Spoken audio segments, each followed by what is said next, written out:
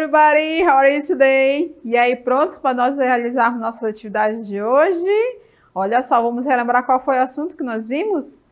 Olha, olha aí, people. O assunto que nós vimos para nossa atividade de hoje foi o simple present third person, presente simples da terceira pessoa do singular. Então, nossas atividades de hoje são relacionadas a esse assunto. Então, quero que vocês participem bastante lá no chat, colocando as suas respostas, tudo bem? Então, vamos iniciar?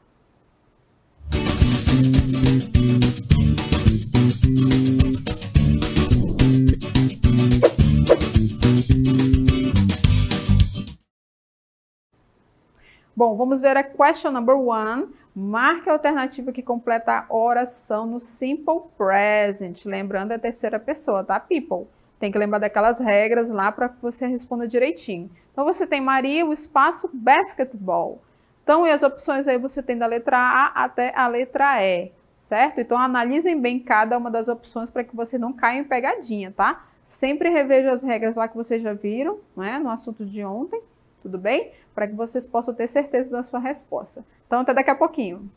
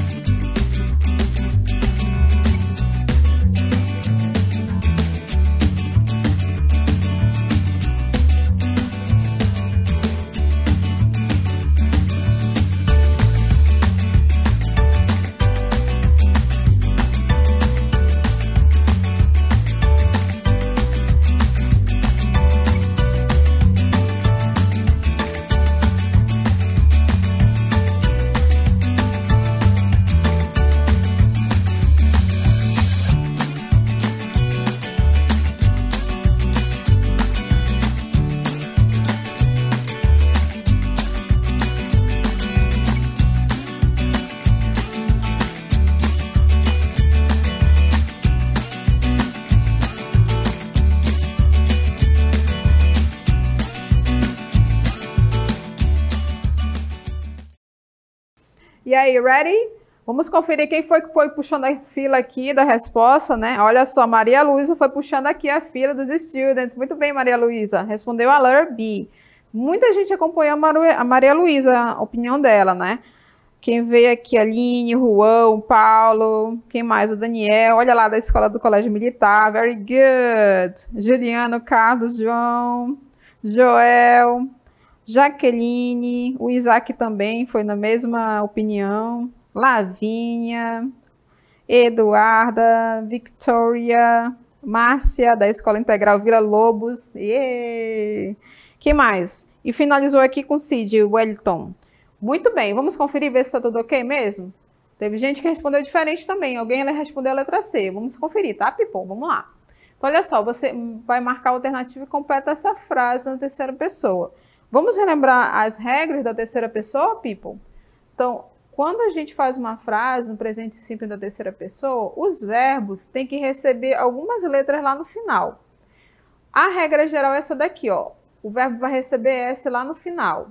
Ou o verbo vai receber ES lá no final. Ou o verbo vai ser transformado para IES. Eu vou já comentar aqui essas regras com vocês para a gente relembrar, tá? Então vamos ver aqui. Maria, espaço, basketball. O que é basketball, hein, people? É um esporte, não é? Então a gente tem que observar também essa informação que é importante para que a gente possa colocar o verbo correto. Se é basketball, tem que colocar um verbo relacionado a ele. Provavelmente Maria joga basquete, né? Vamos ver aqui a letra E. Sleepies. Opa, verbo sleep é dormir. Agora sleeps com IS, hum, não dá muito certo aqui.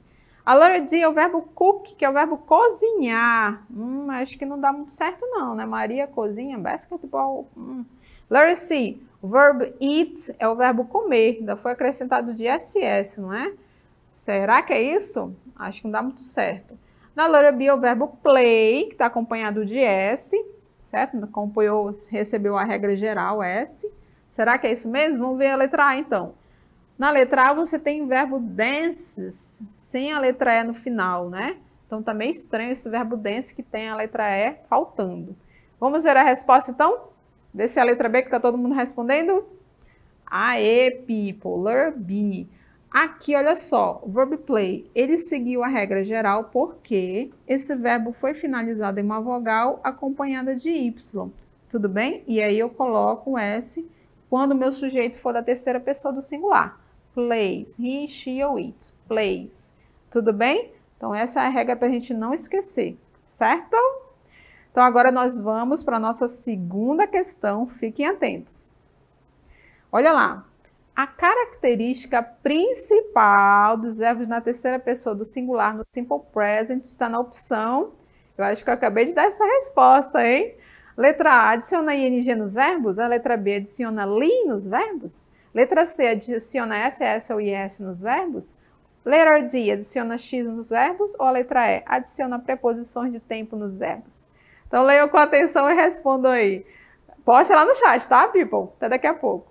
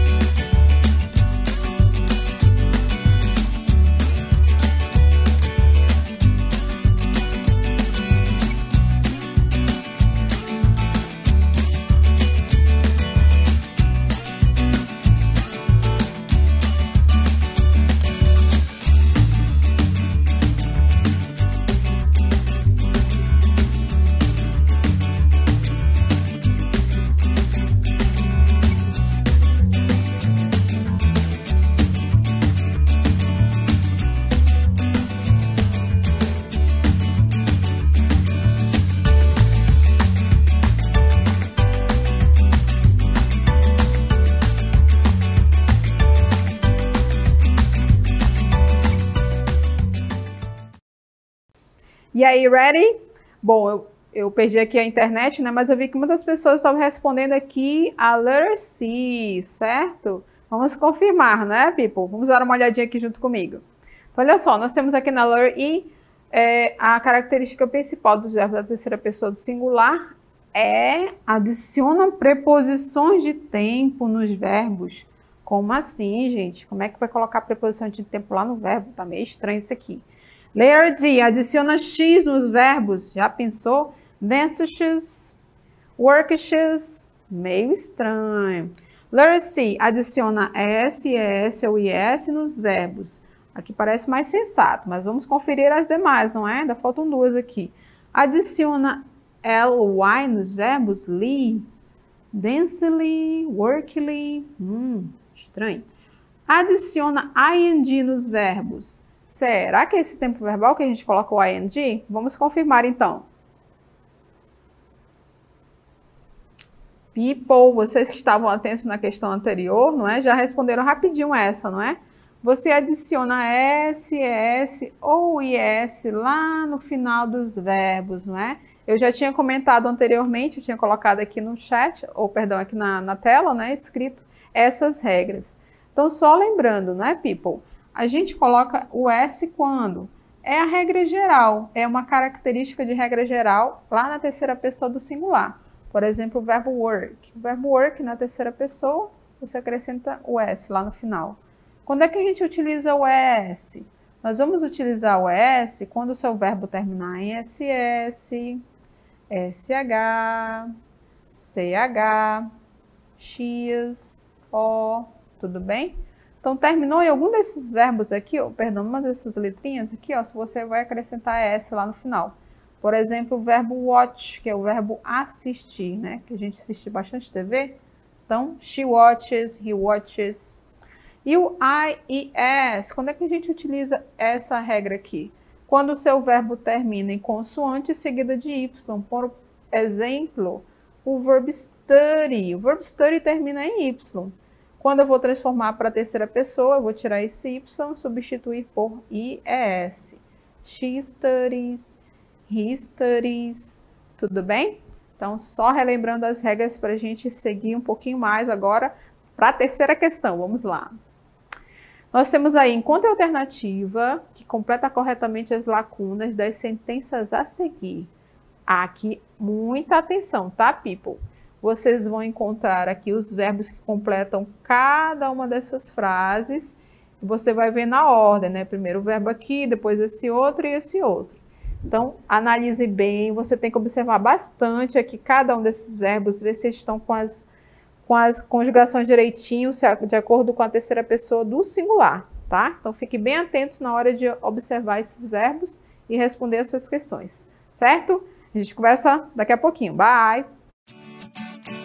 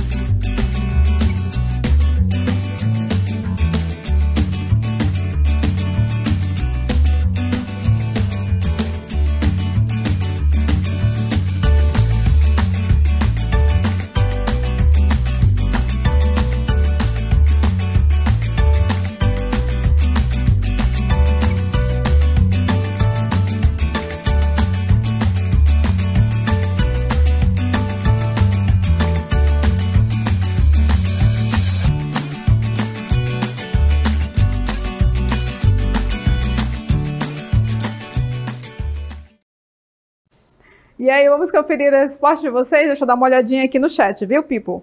Vamos lá, nós temos aqui... A maioria está respondendo a letter A. Será que é isso mesmo? Não vi muita diferença aqui, não. Tem outras respostas também, mas a maioria é letra A. Ah, tem letra B também, tem letra C, tá aparecendo aqui. Por exemplo, Ryan, lá da Escola Elizabeth Jorge Teixeira. Hello! Letra A, né, Ryan? Assim como a Sara também acha que a letra A. Quem mais? Tem gente que está na C, tem gente que está na B também. O Leone acho que é a B. Tem gente acompanhando também. Quem mais está por aqui? Letter a Valesca acha que é a. Isaías também está na letra A, na Beatriz, a Gabriel. Quem mais? Tá meio, tá meio variado aqui, né, gente? Vamos conferir isso daí porque isso indica que vocês estão com uma certa dúvida, está muito variado. E às vezes, quando vocês marcam só uma letra, diga, ah, essa daí tá certa. Então vamos conferir aqui junto comigo. Vamos lá, people. Olha, já deram aqui, só para facilitar a vida de vocês, gente, já colocaram os verbos que é para ser utilizado em cada espaço, né? O verbo work, loves e study. Então, nessa primeira frase aqui, você vai completar com o verbo work, só que na terceira pessoa do singular. Vamos avaliar aqui? Qual que está correto na terceira pessoa do singular? O verbo work vai receber o quê? S, S ou ES, people? Muito bem, quem falou works com S lá no final acertou. Então a letra E tá ok, ó, works. E a letra D já tá fora. Letra C tá certinho aqui? Então tá ok, ó. Letra B tá certa aqui, people? Hum, hum, já tá fora, ó. Tem que, tem que receber o S. E a letra A tá com a S direitinho aqui, não é? Então já tá no páreo. Então já está fora B e a D. Vamos lá. Continuando. O Eduardo love ou loves ou loves yes the English language. Qual será? Vamos conferir aqui da letra A. O verbo love people termina em E, também acrescento o S lá no final. Loves, regra geral, tá? Continua a letra A, ok, ó. S no final. Letra B tá certinho, mas já foi eliminada, né? Vamos ver só a letra C agora. Letra C. Ih, tá fora a letra C, ó. Tinha que colocar o S lá no final. Letra D, love gente. Não tem nada a ver, né? A letra E ainda tá no páreo, ó. Loves. S no final. Tudo bem? Analisando a última frase aqui, my sister, minha irmã, in the morning, study in the morning, studies, study, studies. Qual vai ser? Letra E, vamos ver, tá fora já? Ou não? Ih, já tá fora. Cadê, people? Study, o verbo study, ele termina em consoante Y. Quando eu transformo para a terceira pessoa, vou ter que tirar esse Y daqui e colocar IS no lugar. Então, a letra E já está fora. Foi embora. Quem sobrou? Letra A, né? Vamos conferir lá na resposta? Vamos lá. Letter A, verbo works regra geral, loves, regra geral, acrescenta o S, e studies. E é S porque o verbo study termina em consoante seguida de Y, e aí você substitui o Y por IES. Então, quem marcou a letter A, congratulations. Fiquem atentos, hein, gente, quando você for responder né, essas questões. Leiam com calma, confiram lá no caderno de vocês suas anotações antes de você passar adiante tá bom? Vamos para a última, number four. Question number four. Circule a frase que mostra o verbo na terceira pessoa do singular. Gente, é só a frase que está com o verbo na terceira pessoa do singular. Então, observe com calma. Essa, essa questão tá fácil. É só você ver com calma que você vai responder rapidinho e certo, tá bom? Então, até daqui a pouquinho.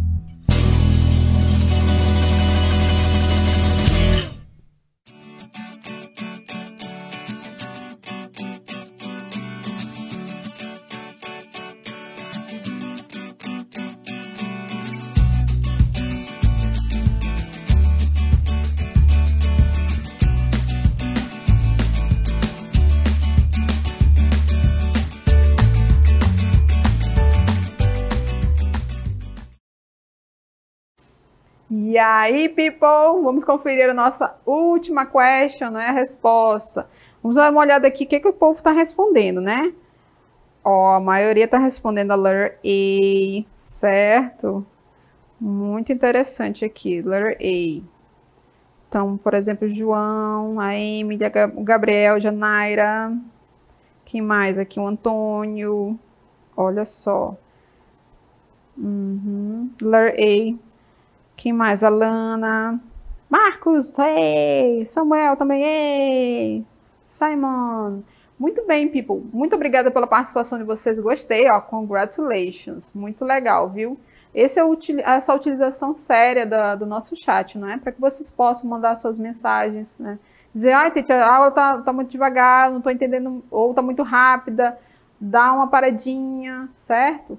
Então, essa é a ideia, tá, gente? Para que vocês saiam daqui dessa aula entendendo, compreendendo o assunto de hoje, tá? E para quem perdeu alguma coisa, não lembre-se que sempre tem a reprise à tarde, tá? Dê uma conferida, tudo bem? Vamos ver se é a letra A mesmo, hein, gente? Vamos lá. Olha só, vamos conferir a letra A, a letra I, né, lá no final. Vamos conferir aqui. You look very well. Onde está o verbo aqui nessa frase? People. Aqui está. Olha, você parece muito bem, look, ok. Só que aqui a terceira pessoa não, não aparece não. Aqui é a segunda pessoa do singular, é você. A Laura D, o verbo é love, amar. They love to go jogging, né? Eles gostam de se exercitar. Sujeito aqui é a terceira pessoa do plural, então o love não está conjugado na terceira pessoa do singular. Já está fora, não é? You studied. You studied New York. Você estudou em Nova York. O verbo está conjugado no passado aqui, tá, gente? Essa característica do passado. E está na segunda pessoa do singular. Então, também não faz parte aí da nossa resposta. I like banana ice cream, que é, eu gosto de é, sorvete de banana. O verbo é like e o sujeito I. Então, já não é a terceira pessoa do singular. Tudo bem?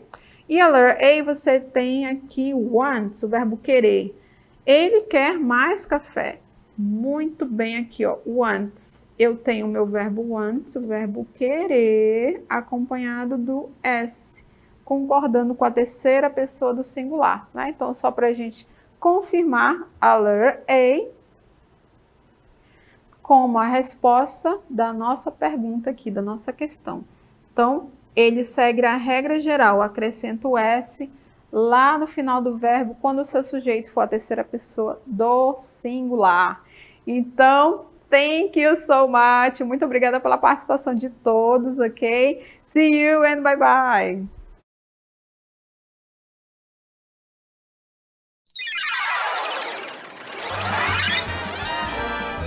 A sua aula continua no próximo vídeo.